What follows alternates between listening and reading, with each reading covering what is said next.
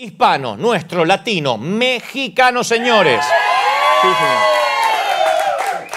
Que hiciste un camino casi de la nada, empezando de los más bajos, ¿no es cierto? Trabajando de lavaplatos en un restaurante chino cuando cruzaste la frontera, ¿cuándo? En 1996. Exactamente, agosto 28. Agosto 28, Del 96. comenzaste lavando platos. ¿De qué, ¿De qué parte de México? Soy de Chiapas, De Chiapas, Chiapas, México, ajá. la frontera con Guatemala. Así es.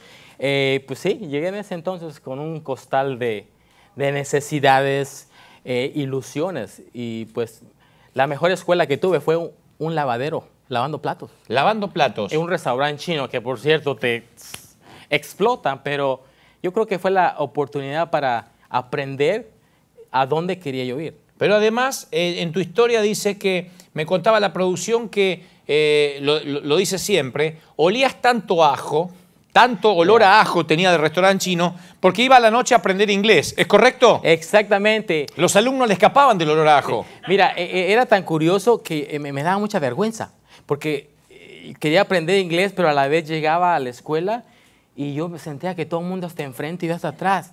Y llegó un, un momento que la maestra me dijo, ¿sabes qué, este Martín? Te pido un favor, por favor, siéntate allá porque mis alumnos ya no quieren venir, porque huelen mucho a ajo.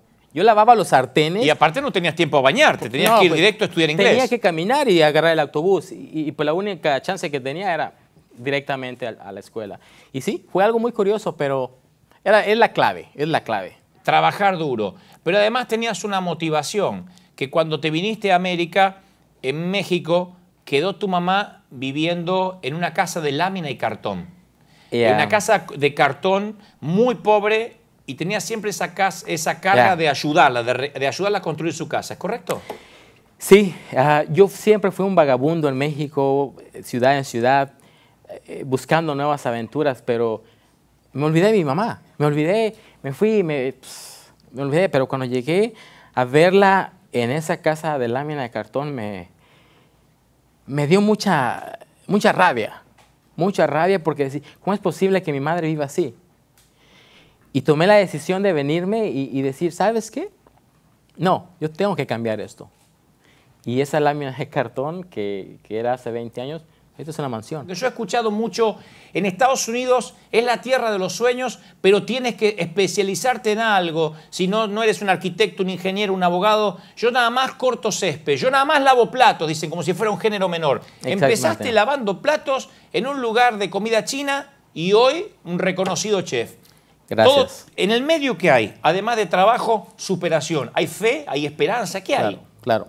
Bueno, una de las técnicas que yo sé- eh, eh, eh, siempre he tenido en la vida, me caigo, me levanto. Tan fácil. ¿Y te caíste varias veces? Miles de veces. Miles de veces y me caí muy profundo, muy profundo. Alcohol, drogas. eh, su- sufrí mucho porque yo lo decidí así. Sí. Nadie es culpable. Pero eso me enseñó a poner una base, un cimiento en mi vida súper fuerte. Ah, en base a eso, eh, doy de comer a los homeless por una fundación de mi amigo, ah, Luis- a José Luis Trujillo.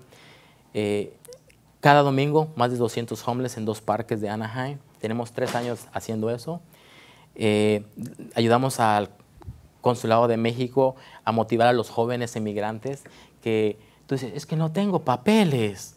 Ah, porque eso también estaba leyendo. Lograste la ciudadanía americana y no Sí. tenías papeles. Yo no tenía papeles, Sí, pero yo hablaba inglés. Sí. Yo soy chef. O sea, jamás en mi mente cruzó, no tengo papeles. No, yo soy un chef necesitado y cargado de ilusiones. Y es lo que le hago saber a los jóvenes latinos eh, de que tener papel no es un impedimento. Porque No. yo lo estuve así. Y porque el país, este país es noble, reconoce el talento. Sí. Lo que no quiere es gente que venga a consumir los recursos y no de nada. Pero cuando traes algo, es un país que reconoce el talento y reconoce el esfuerzo. Eso hay que decirlo.